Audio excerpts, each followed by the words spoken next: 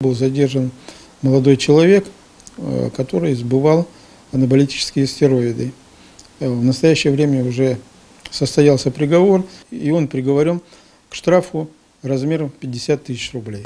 Анаболические стероиды постановлением правительства были э, внесены в список запрещенных к обороту сильнодействующих веществ. Это не э, наркотики, а сильнодействующие лекарственные препараты, которые э, значит, подлежат продаже только э, по назначению врача, по рецептам, а некоторые люди вот достают их и пытаются сбыть вот таким горе-спортсменам, которые стремятся придать себе видимость, что они атлетически сложены, на самом деле они только губят свое здоровье, потому что анаболики, они действуют на многие значит, органы, внутренние органы человека, и поэтому их э, нельзя бесконтрольно, без э, назначения врача употреблять.